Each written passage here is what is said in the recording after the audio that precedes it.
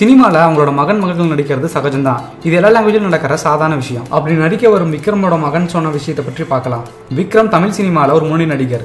விஜய் அஜித்துக்கு ஈக்குவலாக இருக்கிற ஒரு ஃபேமஸான ஆக்டர் கதையை தாண்டி இவர் நடிப்பும் படத்தில் பேசும். அவரோட மகன் துருவ் இப்போ சமீபமாக டைரக்டர் பாலாவோட டைரக்ஷனில் வருமாங்கிற படம் மூலியமாக அதிகமாக இருக்காரு.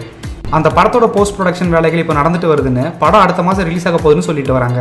படத்தோட ப்ரொமோஷனுக்கு துருவ் பேட்டி கொடுத்தப்போ அது ரிப்போர்ட்டர்ஸ் உங்களுக்கு பிடிச்ச ஆக்ட்ரஸ் யாருன்னு கேட்டிருந்தாங்க. அதுக்கு அவர் சின்ன வயசுல இருந்தே த்ரிஷா எனக்கு ரொம்ப பிடிக்கும்னு சொன்னாரு. ஆனால் அவங்கள நான் சந்திச்சதே இல்லை. ஒரு முறை ப்ரிவியூ தேட்டரில் இருந்தப்போ நான் தூங்கிட்டேன்.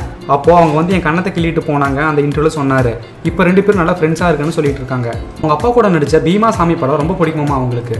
த்ரிஷா ரொம்ப டேலண்டடான ஆர்டிஸ்ட் அதனால தான் அவங்க ஃபீல்டில் இன்னி முன்னணி நடிகையே இருந்துட்டு வராங்கன்னு சொல்லியிருக்காரு அந்த இன்டர்வியூவில் வாய்ப்பு கிடைச்சா கண்டிப்பாக த்ரிஷா கூட ஒரு கேமியா கேட்டல் நடிப்பேன்னு சொல்லியிருந்தாரு.